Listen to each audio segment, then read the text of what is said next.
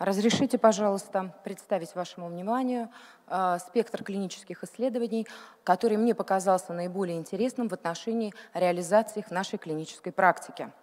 Итак, э, диагностическое исследование, определение опухолевой ДНК, вы знаете, этому большое количество исследований э, в настоящее время посвящено. В отношении рутелиального рака, на мой взгляд, это самое перспективное направление, поскольку есть возможность определять ДНК в моче. Вы видите, э, модель была предложена авторами, была валидизирована на 150 образцах ретроспективной когорты и э, уже применяла в клинической практике у 674 пациентов с раком мочевого пузыря, 22 пациентов рак э, верхних мочевыводящих путей и 31 пациент с наличием резидуальной опухоли в различные этапы лечения.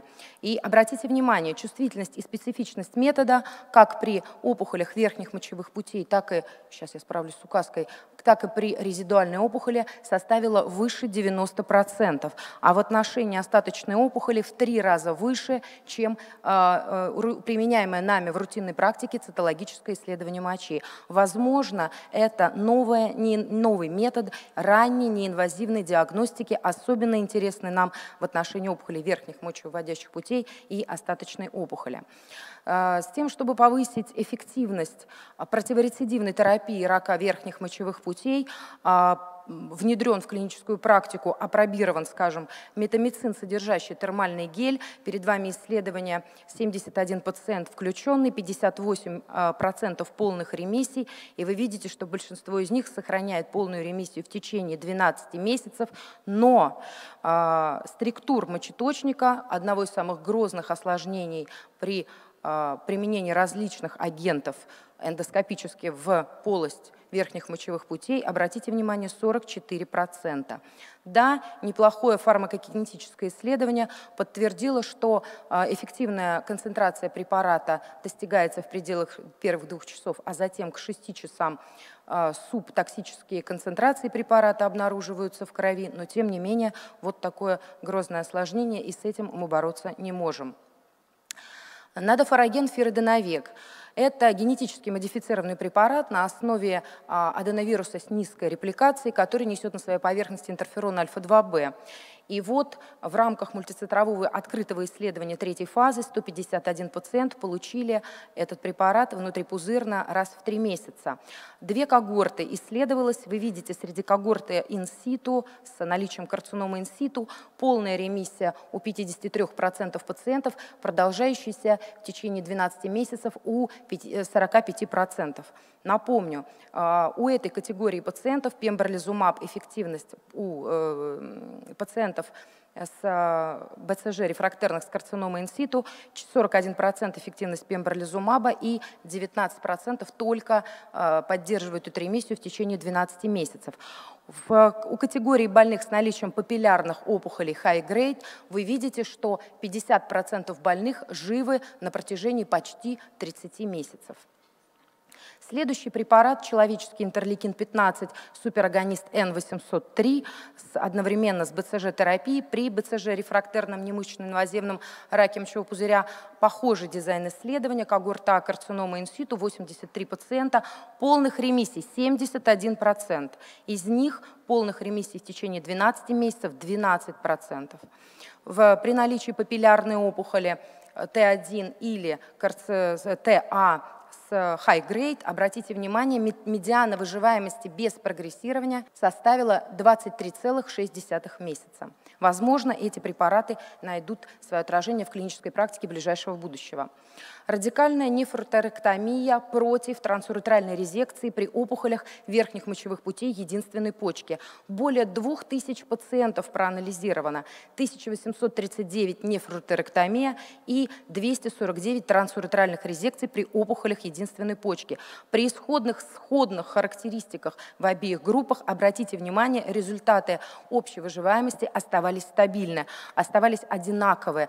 Возможно, а, в нашей будущей клинической практике это укажет нам на то, что мы большее, большее число больных подвергаем органоуносящих операций, выполняем операции, обрекаем пациентов на заместительную почечную терапию. Возможно, нам надо расширить показания для эндоскопических вмешательств, также у больных при наличии двух функционирующих почек. Заканчивая тему рака верхних мочевых путей, Представлены окончательные результаты многоцентрового исследования в рамках второй фазы гемцитабин и цисплатин в качестве неоадюванта у больных с уротелиальным раком верхних мочевых путей. 57%, 57 э, извините, пациентов включено в исследование. Вы видите, частота объективного ответа 63%, медиана наблюдения 42 месяца, двух- и пятилетняя общая выживаемость 93 и 79%. Согласитесь, цифры значительно выше, чем при изолированном хирургическом лечении, что также, возможно, а, изменит нашу клиническую практику в отношении неодювантной терапии. Далее, несколько слов в пользу незаслуженно, а, незаслуженно ну, как бы ограниченного применения тримодального подхода. более 2000 пациентов, 2048 пациентов с местно распространенным и э, локализованным мышечно-инвазивным раком мочевого пузыря при медиане наблюдения 29 месяцев. Вы видите, это 1812 неоадъювантная терапия радикальная цистектомия и 236 пациентов подвергнуты тримодальной терапии. Общая выживаемость достоверно не различалась. Давайте расширять показания к органосохраняющему лечению. Аналогичные исследования также э, в сравнительной эффективности тримодального подхода и радикальной цистектомии при мышечно-инвазивном э, раке мочевого пузыря. 703 пациента, многоцентровое исследование. Вы видите уротелиальный рак Т2, Т4 без признаков отдаленного регионарного метастазирования.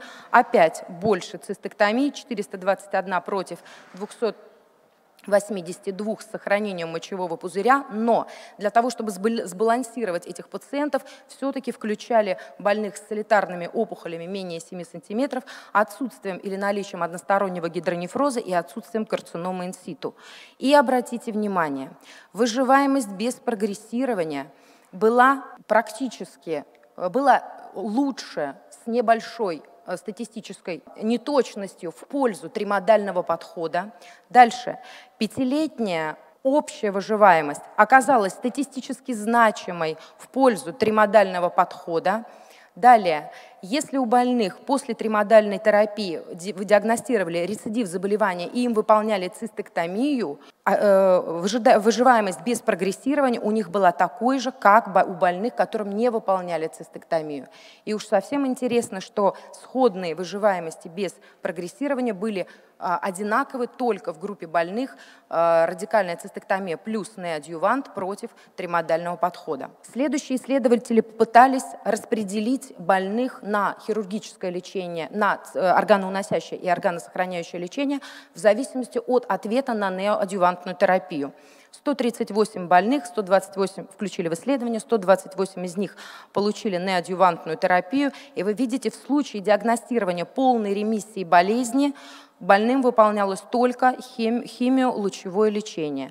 При отсутствии полных ремиссий больным выполнялась цистектомия. 10 пациентов, отказавшихся от цистектомии, были включены также в химиолучевую терапию. И обратите внимание, трехлетняя безметастатическая выживаемость 70% тримодальный подход, 65% цистектомия. Следующей группой авторов разработан и предложен клинической практике калькулятор вероятности метастатического поражения лимфатических узлов при выполнении радикальной цистектомии, сходный с теми калькуляторами, которые мы с вами используем при планировании радикальной простатэктомии. 903 пациента, 6% метастазы в лимфоузлах, медиана количества удаленных лимфоузлов приличная 19, эффективность модели а, соответствовала 73%. Если мы будем а, учитывать перед выполнением лимфоденоктомии такие факторы, как возраст, а, категорию С, категорию Н, наличие лимфоваскулярной инвазии карцинома инситу, с вами 12 лимфодиссекций мы выполним зря, а если мы и, и у 3% больных мы не выполним лимфодиссекцию при наличии э, метастазов в лимфатических узлах. Интересное генетическое исследование было представлено э, на э, конгрессе АСКО в этом году. А, пациенты с наличием мутаций, значит, а, исследовались мутации АТМ, РБ1 и РСС у больше чем 100 больных, 56 и 49, 105 человек. И наличие этих мутаций, то есть высокая экспрессия вот этой мутатич, э, мутационной активности в этих генах э, коррелировала с, с количеством полных ремиссий, которые мы получим в результате неоадювантной терапии. Кроме того, вы видите, что наличие мутаций в этих генах было сопряжено с увеличением как общей, так и выживаемости без прогрессирования, и таким самым, этим самым, наверное, обнаруживая эти мутации, мы будем планировать неоадювантную терапию и отбирать больных для органосохраняющего лечения. А, извините, напомню, что в течение 20 лет, благодаря этим исследованиям, мы с вами применяем неоадъювантную терапию, поскольку и в отношении обнаружения полных ремиссий, и в отношении общей выживаемости, конечно, предпочтение отдается в пользу комбинированной терапии, то есть неоадъювант и затем цистектомия. И также мы с вами знаем, что в сравнительных исследованиях по изучению э, гемцитабина с цисплатином и МВАК в общем-то, различий достоверных получено не было. Однако вот эти два исследования продемонстрировали, что МВАК оказалась в первом исследовании эффективнее в отношении а, уменьшения опухолевой инвазии до немышечно-инвазивного а, процесса, опухолевого процесса, а следующее исследование показало чуть лучшую трехлетнюю безрецидивную выживаемость, применяя МВАК чем гемцитабин с цисплатином, а также количество, видите, полных ответов и количество уменьшения размера опухоли, э, инвазии опухоли до немышечной инвазивной фазы также было выше в результате применения сниженных доз МВАК. Несколько работ было посвящено добавлению иммуноонкологического препарата к хорошо нам известной схеме гемцитабин с цисплатином, и вы видите пембролизумаб, пембролизумаб, неволумаб, дурвалумаб и атезолизумаб. Обратите внимание, что э, э, добавление иммуноонкологических препаратов не привело к увеличению количества полных ответов. Таким образом, э, я бы не рекомендовала добавление иммунопрепаратов в качестве невоадювантного агента. Что делать тем больным, которым цисплатин противопоказан? Этих больных включили, включали в исследования по неадювантной иммунотерапии. И обратите внимание, все препараты показали примерно схожее количество полных ответов. И на сводной таблице я продемонстрировала, что все-таки иммунотерапия без препаратов платины может иметь место в качестве неодюванта у пациентов, которым противопоказан цисплатин. С удовольствием мы наблюдаем за исследованием CheckMate 274, это уже адъювантная терапия, неволумаб в качестве адъювантной терапии. И по-прежнему при уже наблюдательном исследовании мы видим, что применение неволумаба оправдано у всех категорий больных, во всех стадиях, у всех подгрупп больных, как при наличии педель э, положительных экспрессий, так и при отсутствии ее, и достаточно низкий уровень э, нежелательных явлений. Тоже интересное исследование генетическое. Э, на 80-49 пациентов их распределили на две группы. Наблюдательное исследование, иммунотерапия в первой линии при наличии противопоказаний к цисплатину и 542 пациента, которые получили химиотерапию при метастатическом уротелиальном раке. А, изучалось, у этих пациентов изучалась мутации в более чем в 20 генах, и было продемонстрировано, что если вот этот мутационный опухолевый индекс, принятый за 10 условных единиц, был равен 10 или более, то есть высокая мутационная нагрузка, у этих пациентов в первой линии лучше работала иммунотерапия. А пациенты, у которых э, э, опухолевая нагрузка, э, мутационный индекс был низким, у этой категории больных лучше работала в первой линии химиотерапия. Пембролизумаб с ленвотинибом. Нет, это не слайд из презентации Алексея Сергеевича, это пембролизумаб и ленвотиниб у больных при распространенном уротелиальном раке в первой линии. И вы видите, что добавление мультикиназного ингибитора никаким образом не повлияло на результаты ни выживаемости без прогрессирования, ни на общую выживаемость, но значительно увеличило токсичность. Ну и несколько слов о тех э, препаратах, на которые мы сейчас особые надежды возлагаем. Э, я бы не хотела останавливаться на этих исследованиях, потому что они были прекрасно освещены моими коллегами на э, секционных и на сателлитных заседаниях. Так вот, энфортумаб витадин с пембролизумабом против энфортумаба витадина в, э, у больных с местно распространенным раком в первой линии лечения при наличии противопоказаний к цисплатину. А, вы видите, что как частота объективного ответа, так и э, а, э, количество полных ремиссий, частичных ремиссий, вообще э, степень контроля за болезнью была значительно выше на фоне применения комбинированной терапии, чем а, в монорежиме чем на монорежиме. И вы видите, что э, как безрецидивная выживаемость 12-месячный барьер преодолела 55 против 35% пациентов в отношении общей выживаемости, 80% против 70% пациентов.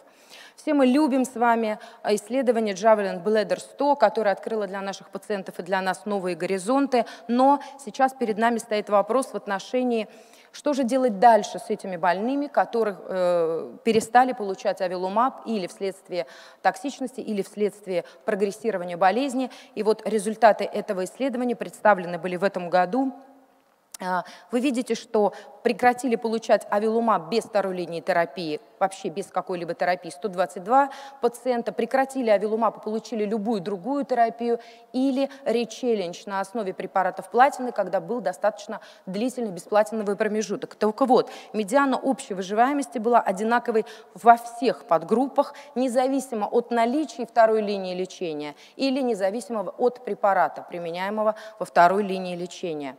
А, то же самое интересная э, судьба пациентов, которые не получили авилумаб. Вы видите, что препаратом выбора были ингибиторы PD-1, PDL-1, и тем не менее показатель общей выживаемости не превысила известных нам ранее по э, предыдущим исследованиям 16,5%, и все-таки авилумаб рулит. Эрдофитинип при местно распространенном и э, метастатическом раке, это уже наблюдательные, э, уже э, результаты более длительного наблюдения. Вы видите, при медиане 24 месяца частота объективного ответа сохраняется на уровне 40%, выживаемость без прогрессирования 5,5%, общая выживаемость 11,3 месяца. Но, обратите внимание, нежелательное явление грейд 3-4 72%. Медиана, что у нас с вами впереди, это наше будущее. Медиана безрецидивной выживаемости 5,4 против 10 6-9 месяцев.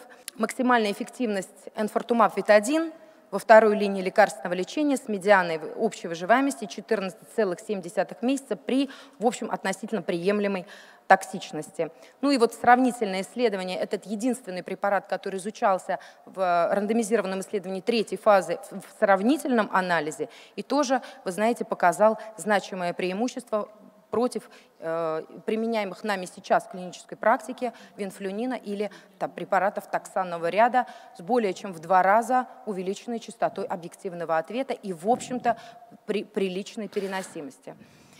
А, конечно, у меня нет и толики тех возможностей, которые были у Николы Тесла, и тем не менее, на мой взгляд, мне, мне хотелось расставить акценты так, чтобы это каким-то образом имело э, в будущем отношение к вашей клинической практике в отношении увеличения продолжительности жизни наших больных. Спасибо за внимание.